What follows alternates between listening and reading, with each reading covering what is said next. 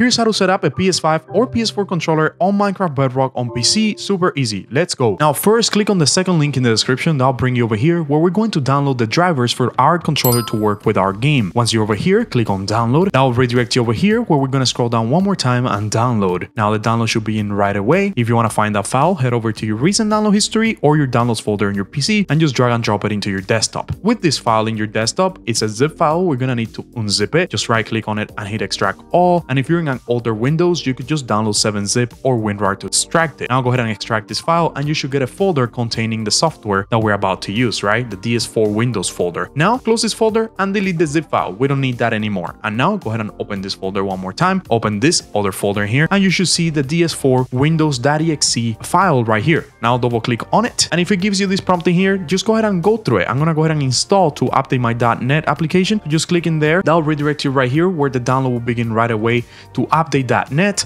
And once it downloads, just open it right away to update.NET on your computer. Just hit installing here. You might get a little administrator prompt. Just allow it to run and then the .NET application should be installed in no time. And once .NET has installed, come back into the DS4 Windows folder and run your DS Windows.exe one more time. Now in here, you want to choose where your app is going to save your profiles, where it's going to save your controller settings. I'm going to choose program folder, but you could also use app data. Now, once you choose a folder, it's going to put you over here where you want to select which type of controller you're running. You have DS4 device support, which is for PS4 controllers, and you also have the device support for DualSense, which is PS5 controllers. I'm going to be using the PS5 one, so I'm to select this one and I'm going to check this one, but select the one that is right for you. And then once you're done, hit on close. Now, once you hit close, you might get an admin prompt. Just go ahead and allow it to run. And then it's to put you right here where you want to hit a step one. Just install the drivers on a step one. It's going to open this menu here. Just go ahead and go through it. If you agree to the license terms and conditions, you could read about them in here. And if you agree, hit next one more time and then hit install and wait for this to install. Once the installation is done, click on finish. And now you could close this little prompt in here because we're not going to be using it anymore. Just close it. And now we need to add our controller into our computer. Now guys, here's my PS5 controller. And in this video, I'm going to be using the cable connection,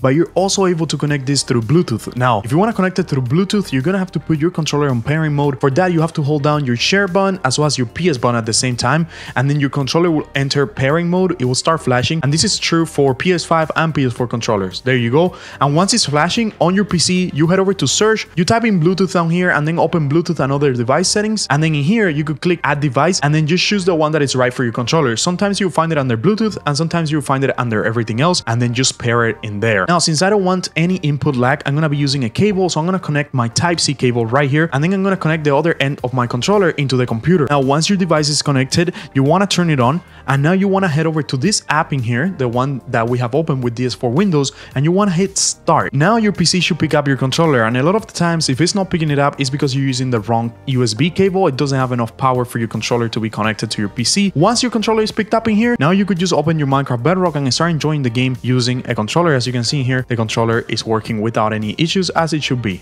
Anyways guys, that is being it. If this video helped you out, don't forget to subscribe and I'll see you guys next time.